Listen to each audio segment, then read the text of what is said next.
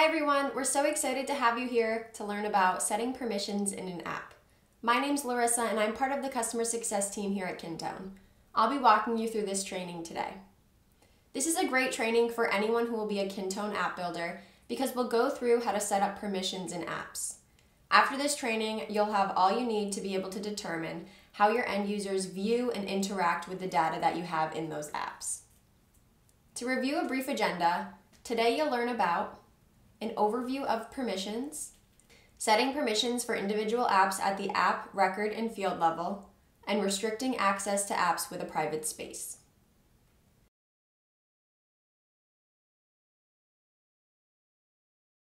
To navigate to permissions from within an app, click the gear wheel to the right and select the App Settings tab. App permissions are one of the most important steps when creating a new app because it allows you to set who can manage app settings and who can view and interact with specific records and data. Each app has its own permission settings. Under permissions, there are three levels we'll review. App level to set permissions for the app as a whole, record level to set permissions on a per record basis based on a set condition, and field level to set view and edit permissions to an individual field.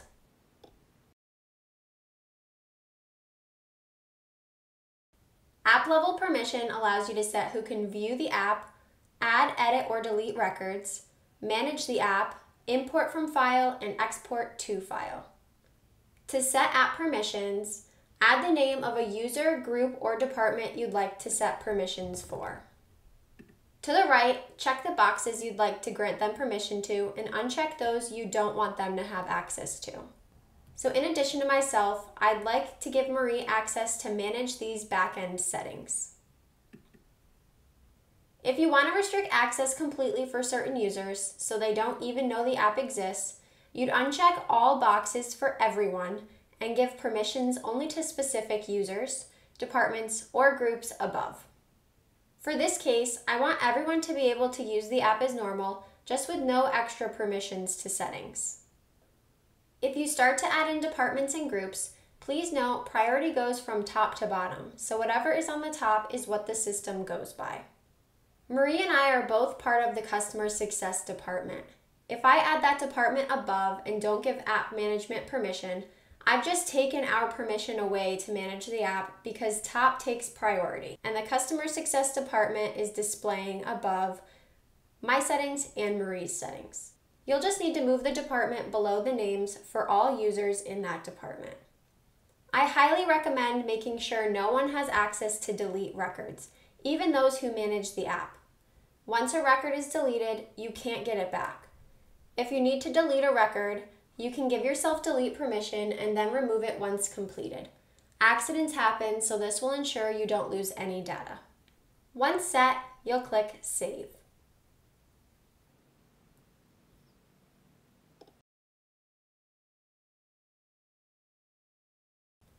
With record level permissions, you can restrict view and edit access to specific records for certain users, groups, or departments based on set conditions. This includes, but is not limited to, allowing only the user who created a record to view and edit the record, preventing users from editing a record once the status is marked as complete, and hiding a record marked as confidential from certain users.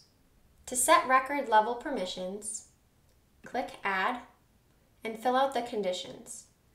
In this case, we want to set permissions to records when the status is any of complete.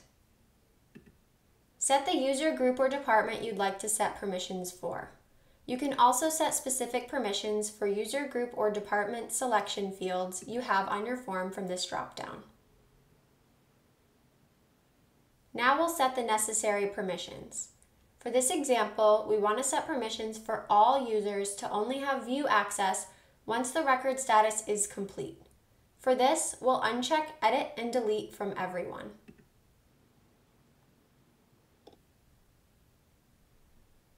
If you have multiple record permissions set, you'll notice you have the ability to drag and drop them in a different order. This is because the order of permissions set matters as well. Top takes priority. Once permissions are all set, click Save.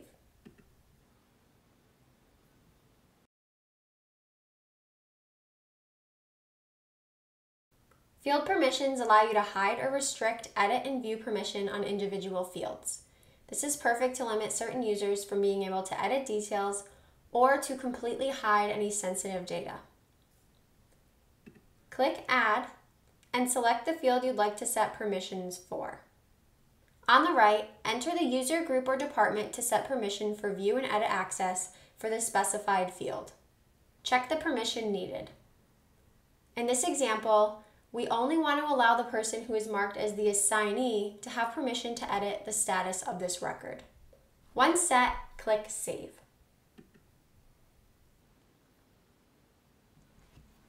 In each section, order matters when setting proper permissions. If you're having trouble achieving the desired result, take a second look at the order of your permissions. If you're still stuck, don't hesitate to reach out to the support team at kintone.com/support and we'd be happy to help. Permissions can be a little tricky at first, but once set, they're a powerful feature that is essential to your operations in Kintone. I recommend using a temporary user seat for testing and open it up in a different browser than the one you're setting permissions in. This will allow you to set and test the permissions side by side to ensure you're getting the desired result.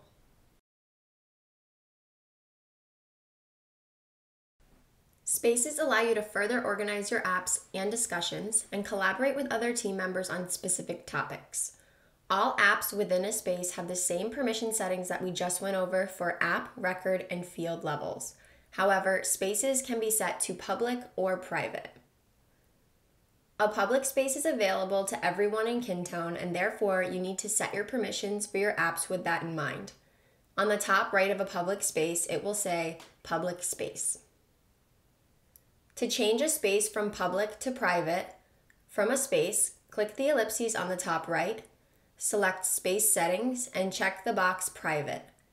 You can add members from within the space settings from the Members tab, and when you save, they will display under People. A private space is only available to those that you invite to the private space. Those not invited will not see the space from Portal Home. With that, you may decide to keep your permissions more open depending on those that were invited to the space. There wouldn't necessarily be a need to restrict everyone from seeing or doing something in the app because you already are restricting access to the space and in turn access to those apps that live within the space. You can tell a space is private by checking the top right. Private spaces also have a lock icon to the left of the name on Portal Home.